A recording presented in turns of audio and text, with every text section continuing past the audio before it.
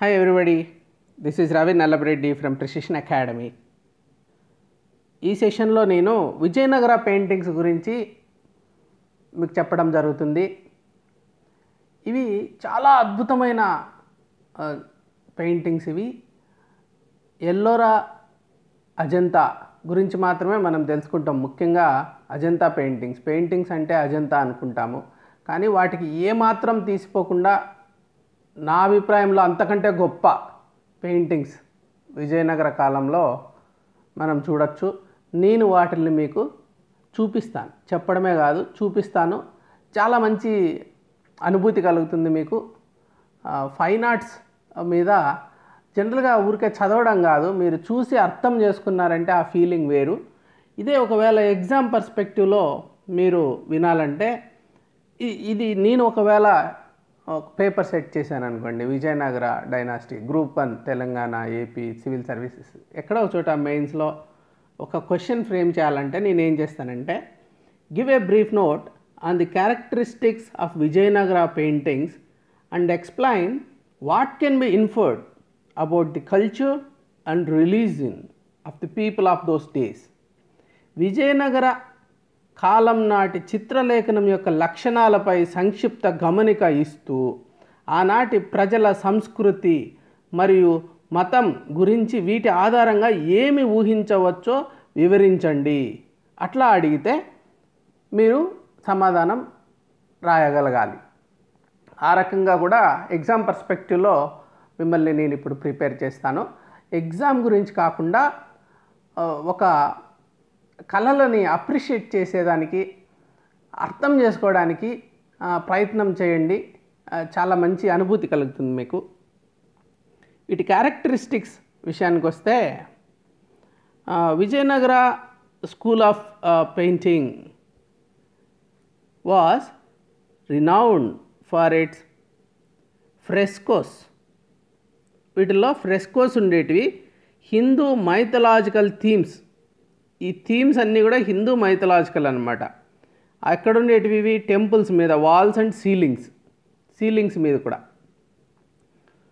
ఇంకా delicate lines and intricate brush strokes. ఇది గుర్తుపెట్టుకోండి ఈ లైన్స్ చాలా డెలికేట్గా ఆ బ్రష్ చాలా బ్యూటిఫుల్గా బ్రష్ స్ట్రోక్స్ ఉండేటివి అనమాట ఇంట్రికేట్గా ఉండేటివి. అదే దాని గ్రేట్నెస్ పెయింటింగ్స్ అంటే చాలా delicate lines intricate brush strokes ఉండాలి అప్పుడే గ్రేటెస్ట్ పెయింటింగ్స్ అవుతాయి అవి.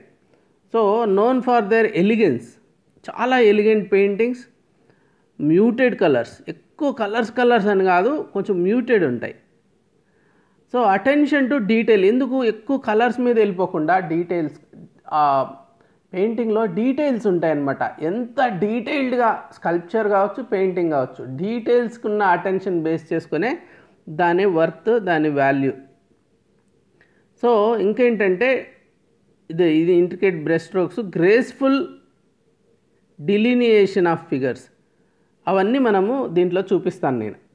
So Mysore and Tanjore styles వీటి నుంచినే ఈ విజయనగర పెయింటింగ్స్ తర్వాత ఏమైపోయిందంటే నెక్స్ట్ ఎవాల్వ్ అయిపోయి మైసూర్ పెయింటింగ్స్ అని తాంజూర్ పెయింటింగ్స్ అని రెండు డెవలప్ అయినాయి రెండు schools of paintings gradually evolved into many styles so south ఇండియాలో వాటిలో ఒకటి రెండు రెండు మెయిన్ స్కూల్స్ వచ్చి Mysore and Tanjore styles of painting అన్నమాట. గుర్తుపెట్టుకోండి అన్నీ గుర్తుపెట్టుకుంటూ ఉండండి. లాస్ట్లో మీరు చూడకుండా రాయాల్సి వస్తుంది. ఇంకా వీటి క్యారెక్టరిస్టిక్స్ గురించి వస్తే ఫీలింగ్స్ అండ్ ఎమోషన్స్ సో ఇవి డెకరేటివ్ పీసెస్ కాదు.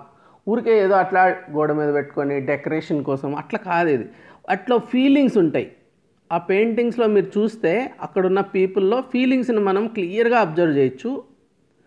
So they inspire feelings of devotion and humility. ఇంకొకటి ఏమంటే devotion and humility. A type of feelings అంటే ఎరోటిక్ పెయింటింగ్స్ కాదు ఇవి డివోషన్ అండ్ హ్యూమిలిటీ ప్రొవోక్ చేస్తాయి. The painters individual skill in giving expression to various emotions is therefore of of importance importance to the style of painting ఇక్కడ ఏది important అంటే ఈ ఎమోషన్స్ని express చేయడం. అది ఇండివిజువల్స్వి సో అది మనము ఈ పెయింటర్ యొక్క స్కిల్ దాన్ని ఇక్కడ మనం చూస్తాం.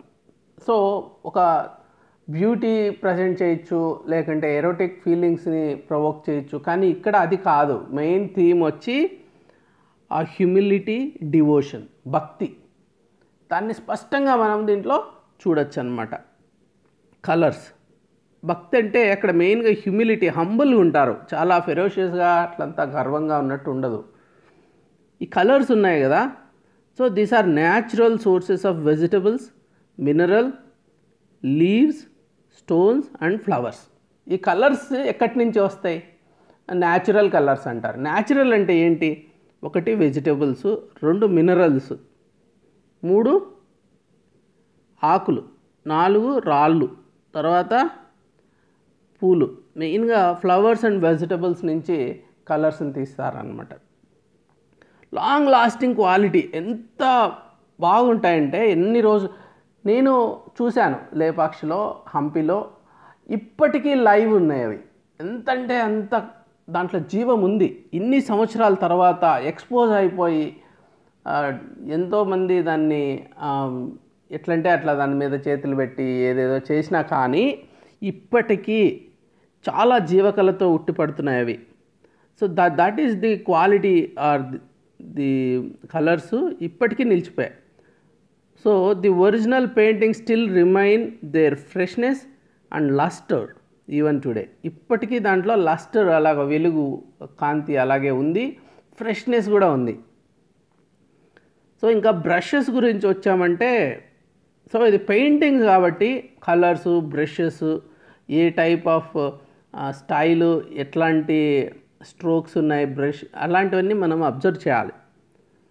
They are made with squirrel hairs అంటే ఉడతలు ఉంటాయి కదా వాటి యొక్క హెయిర్ తీసుకొని delicate work and for super fine lines a brush made of pointed blades of special variety of grass ఒక స్పెషల్ వెరైటీ ఆఫ్ గ్రాస్ నుంచి పాయింటెడ్ బ్లేడ్స్ ఉంటాయి. అంటే లాస్ట్లో కొన సన్నగా ఉంటుంది. అది ఎట్లా అంటే అట్లా లైన్స్ గీయడానికి ఈజీగా ఉంటుంది.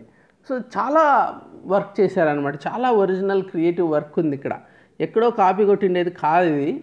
It is its own value ఈ పర్టికులర్ పెయింటింగ్ సంబంధించిన బ్రష్లు కలర్స్ తర్వాత వాళ్ళు చేసిన పెయింటింగ్స్ యూనిక్ ఇవి.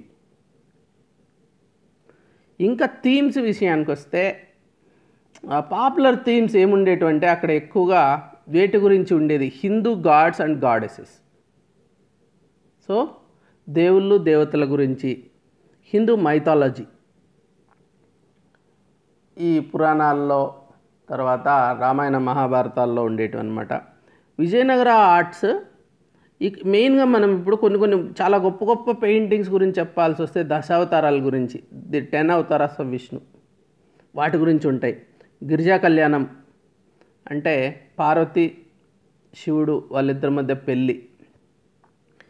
ఇవి మెయిన్గా విరూపాక్ష టెంపుల్ హంపిలో చూడొచ్చు అనమాట ఇంకా కూడా వీరభద్ర టెంపుల్ లేప లేపాక్షి. ఈ రెండే చాలా మెయిన్. సో హంపిలో కూడా వేరే టెంపుల్స్ ఉన్న వీర విరూపాక్ష టెంపుల్ ఒకటి తర్వాత Veerabhadra excellent outstanding example of Vijayanagara paintings. ఈ శివపురాణము ఈ మూరల్స్ ఇవన్నీ శివపురాణం కావచ్చు అంటే tales of Shiva or Girija Kalyanam.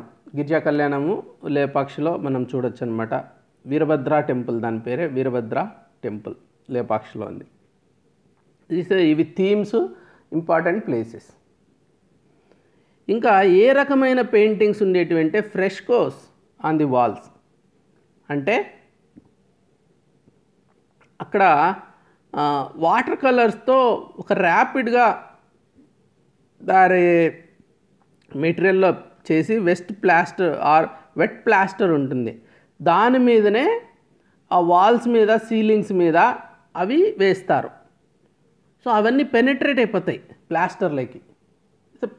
దాని పైన గోడ మీద వేసిండేది కాదు. అంతా సెట్ అయిపోయిన తర్వాత మనము పెయింటింగ్ చేసినామనుకో అది వెళ్ళిపోయే అవకాశం ఉంది. కానీ ఇది ఆ ప్లాస్టర్తో పాటు చేస్తారు. ఆ- ఆ వెట్టుకున్నప్పుడే చేసేటప్పుడే. అప్- అది లోపలికి సింక్ అయిపోతుంది.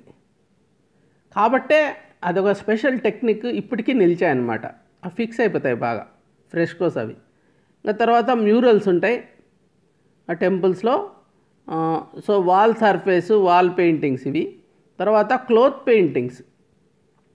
అంటే సిల్క్ కాటన్ క్యాన్వాస్ ఏదో ఒక క్లోత్ మీద చేసే పెయింటింగ్స్ ఉంటాయి. తర్వాత మ్యాన్స్క్రిప్ట్స్ అండ్ ఆల్బమ్స్. ఇన్ని రకాల పెయింటింగ్స్ని మనము చూడొచ్చు. మెయిన్గా మ్యూరల్స్ ఎక్కువ ఉంటాయి.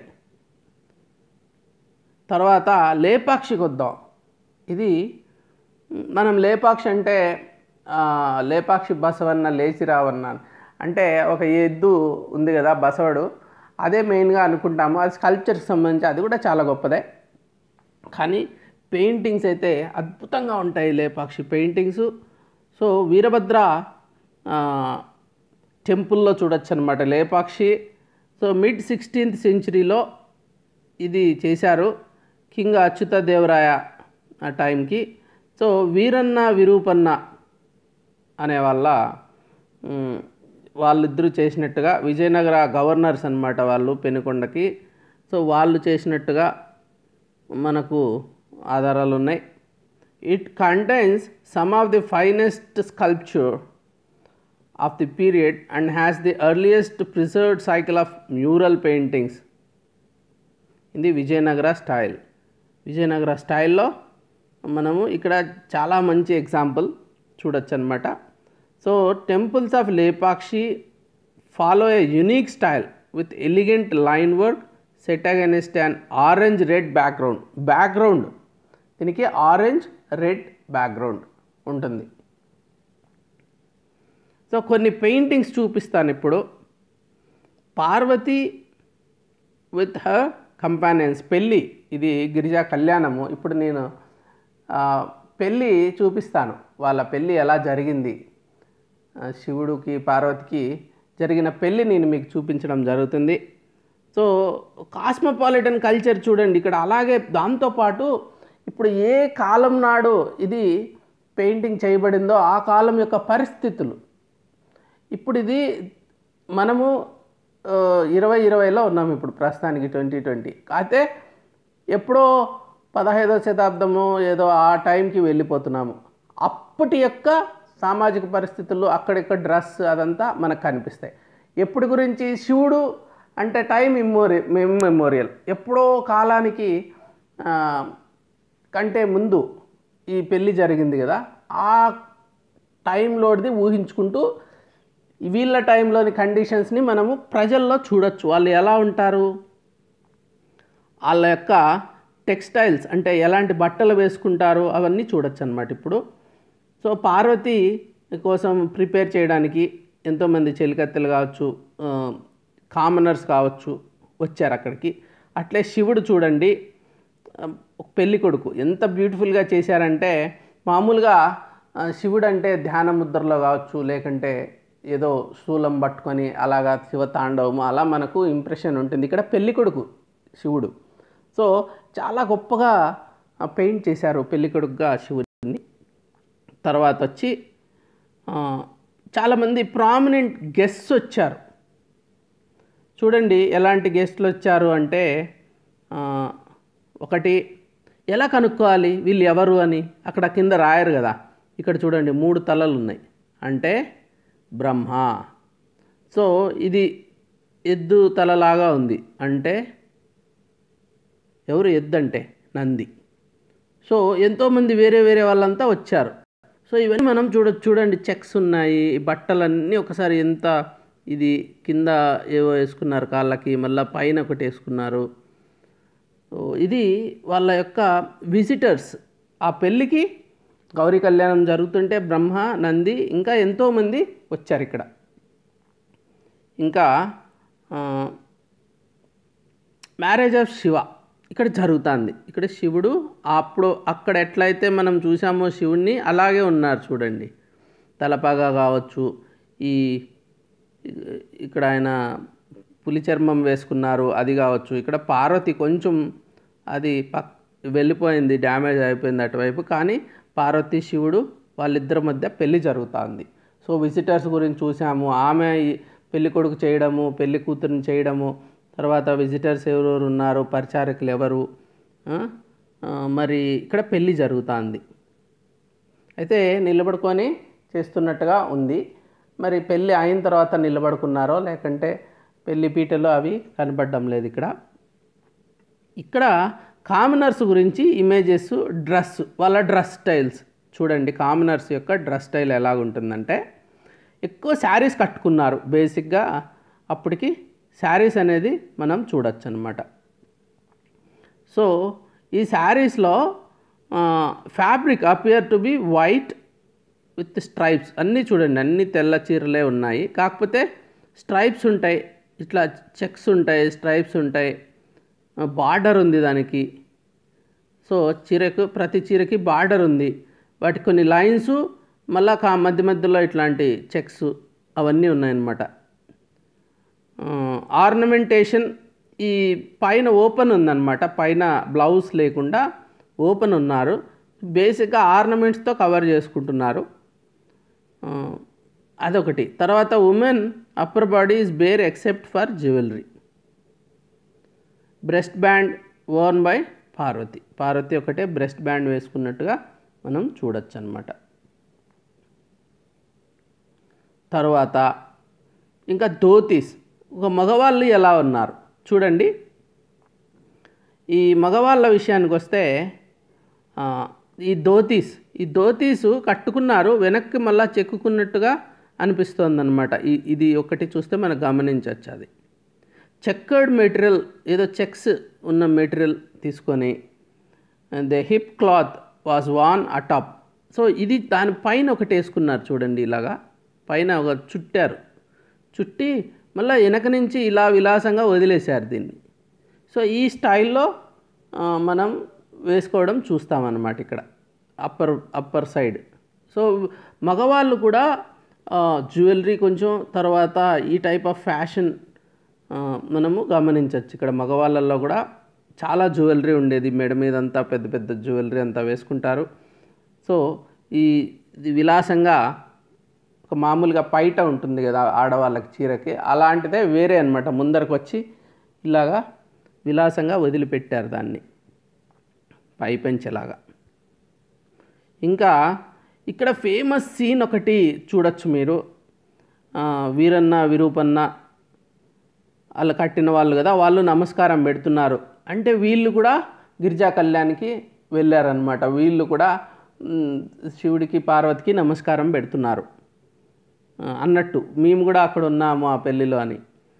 So worshipping Shiva and Parvati so ఇది tall conical patterned brocade caps వేసుకొని ఉన్నారనమాట ఇది చాలా యూనిక్ దీన్ని బట్టి విజయనగర పెయింటింగ్స్లో ఎవరు చూసినా ఆ కోనికల్ క్యాప్స్ ఉంటాయి. సో దాన్ని బట్టి కూడా ఐడెంటిఫై చేయొచ్చు మనం. ఇది మామూలుగా అప్పుడు వాళ్ళ వాళ్ళ వి- విగ్రహాలు కావచ్చు వాళ్ళ పెయింటింగ్స్ కావచ్చు వేయడం అనేది విజయనగర కాలంలో ఉన్న ఒక ఆచారం. ఇదే రకమైన తలపాగాలతో మనము కృష్ణదేవరాయల్ని తిరుమలలో చూడొచ్చు అనమాట అది విగ్రహం. సో ఇంకా ఇస్లామిక్ ఇన్ఫ్లుయెన్స్ కూడా మనం గమనించవచ్చు ఇక్కడ. ఇది ఒక యునిక్ పాయింట్ మీరు గుర్తుపెట్టుకోవాల్సిన point.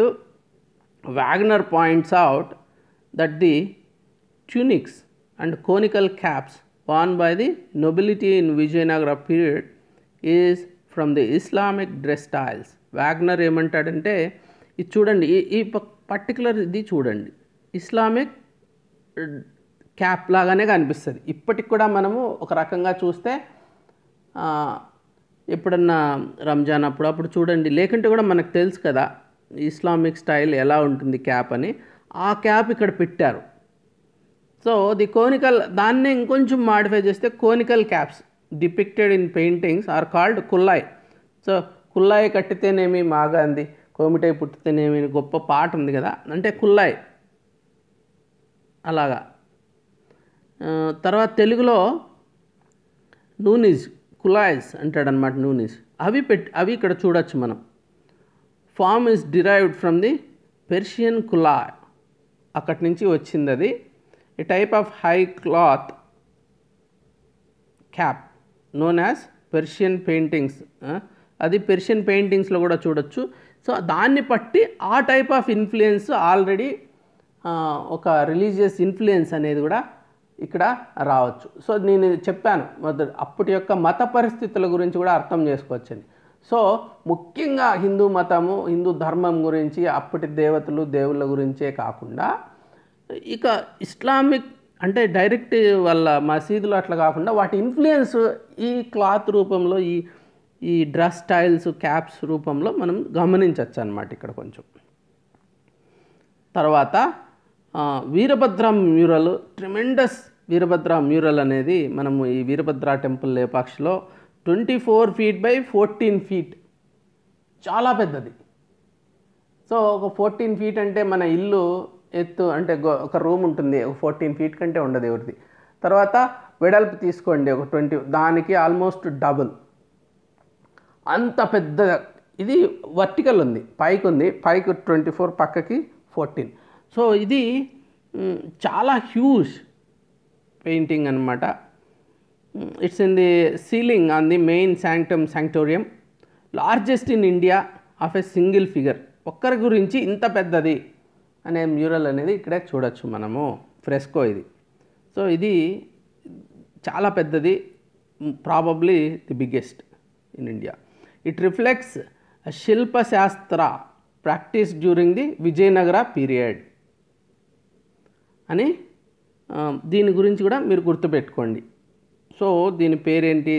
ఇక్కడ వచ్చేసి tremendous Veerabhadra mural in Veerabhadra temple which is of twenty four by fourteen size ఇంకా మనం లేపాక్షి గురించి ఇంత ఇంతసేపు చెప్పాను. ఇప్పుడు తిరుపతి కుండ్రాల్ కుండ్రామ్ అనే ప్లేస్లో జైన్ పెయింటింగ్స్ అది ఒక యూనిక్ అప్పుడు మొట్టమొదట జైన్స్ను కూడా కొంతవరకు వీళ్ళు ఎంకరేజ్ చేయడం జరిగింది. బుక్రాయ హరిహర బుక్రాయలు అని ఉన్నారు కదా ఆ టైంలో Sangeeta Mantapa built by Iruguppa general and minister of Bukkaraya Iruguppa అని జనరల్స్ వా ఒక ఆయన చేపించాడు. ఈ సంగీత మంటపంలో ఆ టెంపుల్లో అది ఒక జైన్ మందిర్లో చేపి ఈ పెయింటింగ్స్ ఉన్నాయి. So series of life stories of twenty four Jaina Tirthankaras. ఈ జైన తీర్థంకరం తీర్థంకరాస్ యొక్క ఆ జీవిత చరిత్రలు ఈ పెయింటింగ్స్ అన్నమాట. Free from action and desire so వీళ్ళు ఏదో పనులు చేస్తున్నట్టుగా ఉండదు ఇక్కడ. ఏదో వేటకి వెళ్ళినట్టో లేకుంటే ఏదో పనులు చేస్తున్నట్టో ఉండదు. వాళ్ళు ఏం లేదు ప్రశాంతంగా ఉంటారు డిజైర్లెస్గా ఉంటారు. తీర్థంకరాస్ కదా? అలాంటి దాన్ని ఇక్కడ డెపిక్ చేయడం జరిగిందనమాట తిరుపరుత్తి కుండ్రామ్ అనే చోట. Paintings at Hampi. సో నేను రిలీజన్ గురించి కూడా క్వశ్చన్లో మొదట అడిగాను కదా. అంటే రిలీజన్ గురించి రాసేటప్పుడు ఇస్లామిక్ ఇన్ఫ్లుయెన్స్ ఒక క్యాప్స్లో ఉంటాయని అంత కొంచెం అక్కడ. కానీ జైన్స్వి మొట్టమొదటి తొలి రోజుల్లో జైన్స్ గురించి ఒక టెంపుల్లో జైన్ పెయింటింగ్స్ కూడా ఉన్నాయి. ఇంకా హంపి విషయానికి వస్తే Virupaksha హంపిలో fifteenth century paintings dynastic history మీద కూడా ఉన్నాయి ఇక్కడ. అది కూడా ఒకటి గుర్తుపెట్టుకోండి. ఈ ఈ విజయనగర డైనాసిటీ యొక్క హిస్టరీ సంబంధించినట్టు కూడా ఉన్నాయి. ఇంకా రామాయణ మహాభారతలో నుంచి వచ్చినటివి. Exploits of Shiva.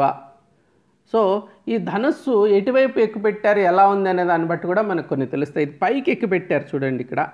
ఇలాంటివి ప్రాబబ్లీ అర్జునుడు మత్స్యంత్రాన్ని ఛేదించేది అయిండొచ్చు. సో మహాభారతం రామాయణం. వాటిల్లో నుంచి ఎక్కువ వీళ్ళు చేశారు హంపిలో. శివుడు కూడా వీళ్ళకు శివభక్తులు. కోర్స్ వైష్ణవ మతాన్ని కూడా వీళ్ళు పాటించినప్పటికీ రెండిటికి సమానంగా ముఖ్యంగా వీళ్ళు శివభక్తులు. మొట్టమొదటైతే ఎక్కువ ఇంకా. ఈ పెయింటింగ్ చూడండి మీరే కనుక్కోండి ఎవరు అని. మీరే కనుక్కోండి. కనుక్కోవడానికి నేను కొన్ని చిన్న చిన్న క్లూస్ ఇస్తాను. ఈయన చెరుకుని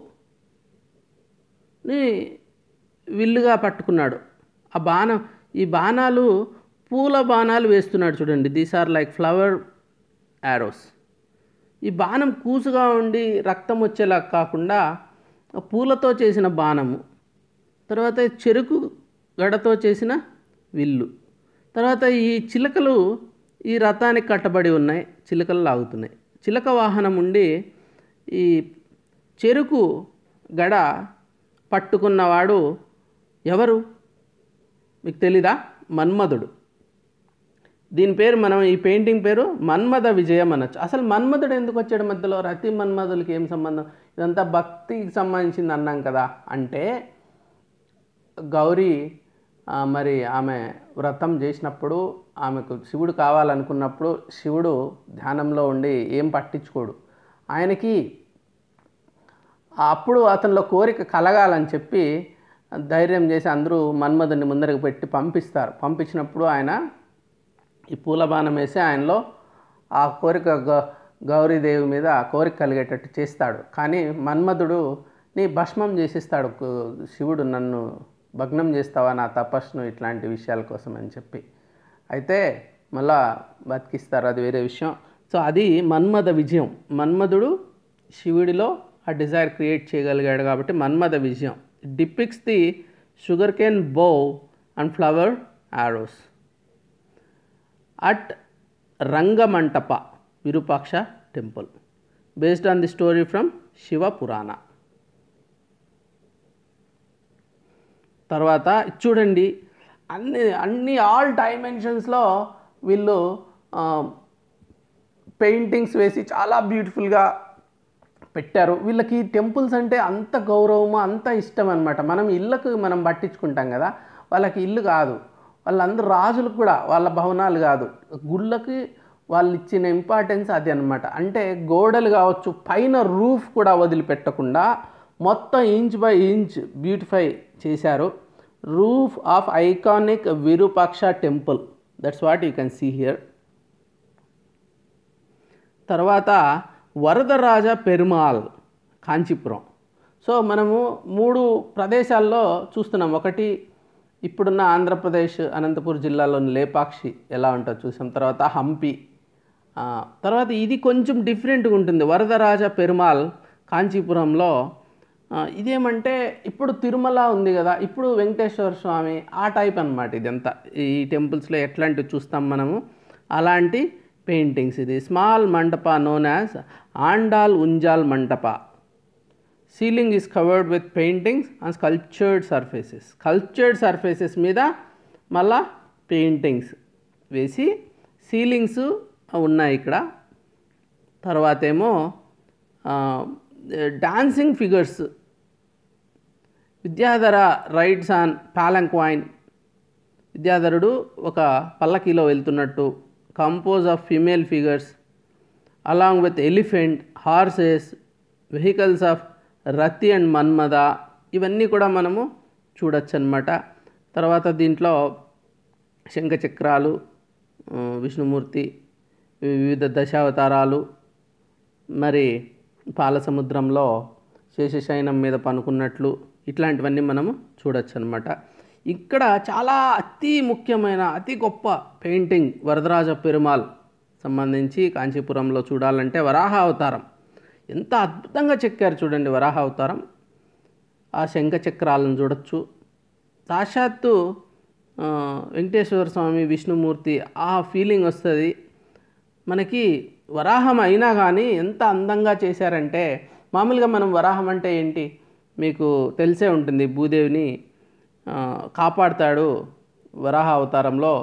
ఆ లోపల నుంచి ఆ సముద్రంలలో నుంచి పైకి తీసుకొచ్చి భూమిని దాని రెండు కూరలు ఉంటాయి ఆ కూరల మీద పెట్టినట్టుగా మనం పైకి లేపినట్టుగా కూరలతో భూమాతని కనిపిస్తుంది. కానీ ఇక్కడ ఎట్లుందంటే తీసుకొచ్చారు భూదేవికి ఆయన కూర్చొని పెట్టుకొని ఉన్నాడు వరాహమూర్తి. ఎంత అందంగా ఎంత ప్రశాంతంగా ఉన్నాడో చూడండి. ఒక బ్లిస్ఫుల్ మోడ్లో ఉంది. ఇది చూస్తే మనకి ఒక ప్రశాంతత ఒక తాదాత్మ్యము తన్మయత్వము కలిగే అవకాశం ఉంది. అదే చెప్పారు it creates a mood of devotion అది చూసిన వాళ్ళకి డీటెయిల్స్ చూడండి. ఎంత అద్భుతమైన చక్రం చుట్టూ ఎంత డీటెయిల్డ్గా ఉంది. తర్వాత వీళ్ళ వీళ్ళ జ్యువెలరీ వీళ్ళ డ్రెస్సు ఇలా కిరీటాలు కిరీటాలు ముఖ్యంగా గమనిస్తురండి. దేవుళ్ళకి కావచ్చు వెంకటేశ్వర స్వామికి కూడా అలాగే ఉంటుంది కిరీటం. సో కొంచెం పైకి వెళ్ళే కొద్దీ కొంచెం సన్నగా అవుతుంది. ఇప్పుడున్న వెంకటేశ్వర స్వామికి పైన ఇంకొంచెం వెడల్పుగా సో ఈ వి- అదే విజయనగర స్వామి మరి ఈయన కూడా కృష్ణదేవరాయలు కూడా ఇలాంటిదే పెట్టుకుంటారు. మన సినిమాలలో ఎన్టీఆర్ది చేసినప్పుడు ఒక మామిడి పండు లాగా ఒకటి పెట్టి అలా చేస్తారు మొదట. అలాంటివి లేవు ఇక్కడ. కొంచెం వేరేగా చూపిస్తారు. కానీ రియల్గా చూస్తే తిరుమలలో మనం చూడొచ్చు కృష్ణదేవరాయలది కిరీటం ఎలా ఉంటుంది. కూసుగా ఒక కోనికల్ షేప్లో వెళ్తుంది. అందరివి అలాగే చూసాం. వీరన్న వీరూపన్న అక్కడికి వచ్చిన వాళ్ళు అందరివి. ఇప్పుడు వరాహస్వామి కిరీటం కూడా చూడండి. భూదేవి కిరీటం చూడండి. సో ఆ చుట్టుపక్కల ఆ దీపాలు కానీ ఆ ఎంత అద్భుతము ఎంత గొప్పగా ఉన్నాయి ఇప్పటికీ కూడా మీరు గమనించవచ్చు so now let me recap so మనం మీరు ఏం చేయాలంటే ఇప్పుడు ఈ రీక్యాప్ అన్న చోట మొత్తం ఒక బ్రెయిన్ మ్యాప్ లాగా వేసుకోవాలి. ఇది విజయనగర పెయింటింగ్స్ అనుకోండి. విజయనగర పెయింటింగ్స్ సో దీన్ని ఇప్పుడు రీక్యాప్ చేయాలి మనం. చేస్తే వాటి క్యారెక్టరిస్టిక్స్ చూస్తే ఎలాంటివి? సో దాని delicate lines intricate brush strokes so దాని లైన్స్ ఎలా ఉండేటివి? సో బ్రష్ స్ట్రోక్స్ ఎలా ఉండేటివి? తర్వాత ఈ కలర్స్ కానీ బ్రషెస్ కానీ ఎలా చేసేవాళ్ళు? నేను చెప్పాను కదా ఉడతల యొక్క హెయిర్తో చేస్తారు ఇది వెజిటబుల్ కలర్స్తో చేస్తారు అవన్నీ మీరు గుర్తు తెచ్చుకోవాలి ఇప్పుడు. తర్వాత ఏమో ఇవి థీమ్స్ చాలా ఇంపార్టెంట్ వచ్చి మనకి థీమ్స్ అనమాట ఏమేమి థీమ్స్? రామాయణ మహాభారత శివపురాణ ఇట్లాంటి థీమ్స్ అనమాట మైథలాజికల్ థీమ్స్. సో వీటి గురించి మళ్ళీ ఏ టైప్స్ ఆఫ్ ఇది ఉండేటువంటి frescoes murals cloth paintings manuscripts ఎన్ని రకాలుగా వల్ల మనం చూడొచ్చు అనేది. తర్వాత ఇది ఎట్లా ఎవాల్వ్ అయింది now it got evolved into Mysore paintings ఇంకా ఏమి ఇవాల్వ్ అయినాయి? ఈ ఈ రెండు ఎలా ఎలాంటి తాంజోర్ పెయింటింగ్స్? తాంజోర్ స్టైల్ అంటే తంజావూర్ అని. తంజావూర్ స్టైల్లోకి మైసూర్ స్టైల్లోకి ఇవి ఎవాల్వ్ అయినాయి. సో అది మీరు గుర్తుపెట్టుకోవాలి. తర్వాత ఇంకా మనకేమంటే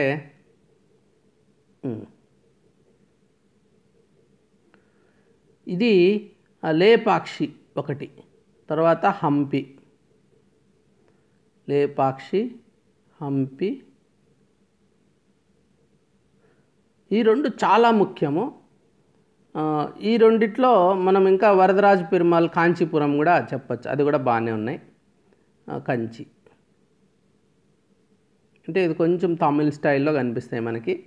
ఈ లేపాక్షి విషయానికి వస్తే మళ్ళీ దీంట్లో మనము ఏ పెయింటింగ్స్ ఆ పెయింటింగ్స్ గుర్తుపెట్టుకోవాలి. ఒక రెండు పెయింటింగ్స్ గుర్తుపెట్టుకోవాలి. Veerabhadra maths Veerabhadra twenty four by fourteen చెప్పాను కదా వీరభద్ర అది అదొకటి.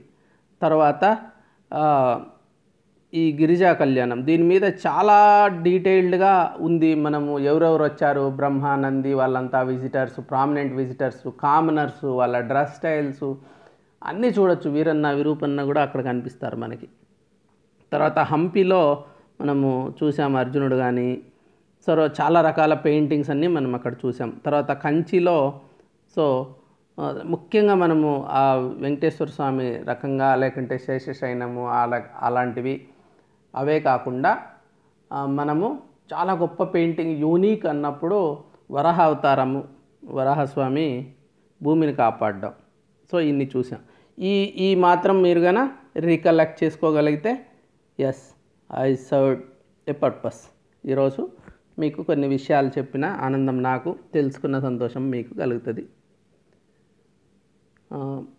And I conclude this with a beautiful quotation from Aurobindo arts గురించి ఆయన ఏమంటారంటే art is not a mere nautch girl of the mind but a priestess appointed in the god's house not to spin fictions, but to image the harder and secret realities deriving from the mystic vision.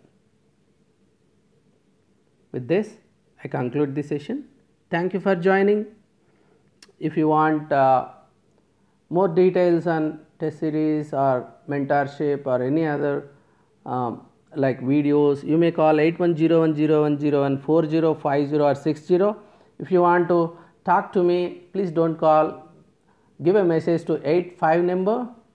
Uh, number and Vijayanagara సిరీస్లో ఇంకా కొన్ని ఉన్నాయి అంటే అప్పుడున్న music అప్పుడున్న dance forms and drama all fine arts అవి అవి కూడా చాలా uh, ఎవాల్వ్ అయిపోయినాయి అప్పటికి. చాలా గ్రేట్ ఫామ్లో ఉన్నాయి. అవన్నీ నేను ఇంకొక సపరేట్ సెషన్లో హ్యాండిల్ చేస్తాను. అలాగే అప్పుడున్న స్కల్ప్చర్స్ ఆర్కిటెక్చర్ సో అప్పటి సొసైటీ అప్పటి రిలీజియన్ ఇవన్నీ కూడా డిఫరెంట్ డిఫరెంట్ సెషన్స్లో నేను హ్యాండిల్ చేయడం జరుగుతుంది. మీరు అవన్నీ కావాలనుకుంటే నోటిఫికేషన్ కావాలనుకుంటే ప్రెసిషన్ అకాడమీ యూట్యూబ్ ఛానల్ని సబ్స్క్రైబ్ చేసుకొని బెల్ సింబల్ క్లిక్ చేయండి నోటిఫికేషన్స్ వస్తాయి. Have a good day. Bye bye.